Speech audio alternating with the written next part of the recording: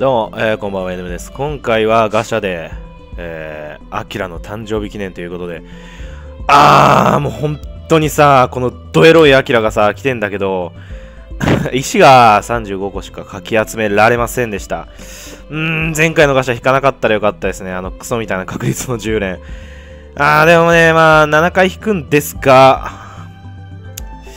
渋いだろうな。誕生日だしな。なんかこれグルカルにもさ、いたよね。何？シャツ流行ってんの？まあいいや、一回ずつ引いていくか。絶対さ、これ、アキラってさ、パイパン？まあいいや、引くか。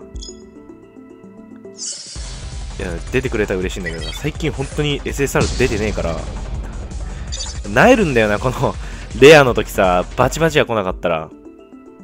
でもしかも明日、今これ撮ってんのは6月7日なんだけど、6月8日はさ、重蔵の誕生日なんだよね。これはね、非常にまずいよ。インボーク、ガシャが来る頻度がすごい高い。うわっ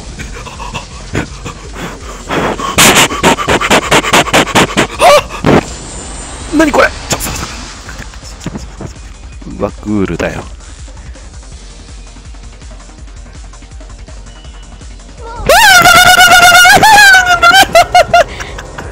キモ今一瞬自分でもキモいわ。変な声になった。やったぜまあまあまあまあいいっすよ。全然。ああ。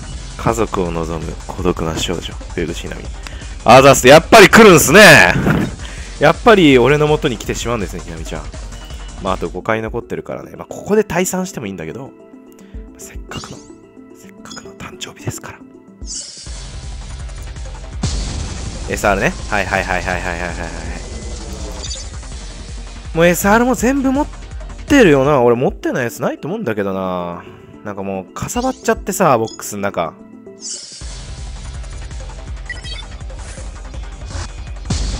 ああ、レアか。でもまあ、今回は SSR のひなみけだし、でもそんなに強くないでしょ。ごめん、性能で言わせてもらうと、そんなに強くないでしょ。たださ、SSR やっぱ増えてきたからさ、すごい難しいんだよね。引き当てるのがさ、ピックアップ、いくらピックアップって言ってもさ、ああ、難しいよ、増えてくると。マジか。もう、ひなみで全てを使い果たしちゃったのかな、俺のインボケは。ラスト強っ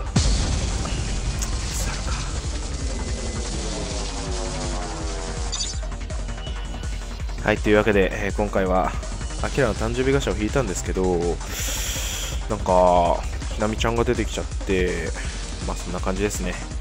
というわけでお疲れ様でした。また次回の実況動画でお会いしましょう。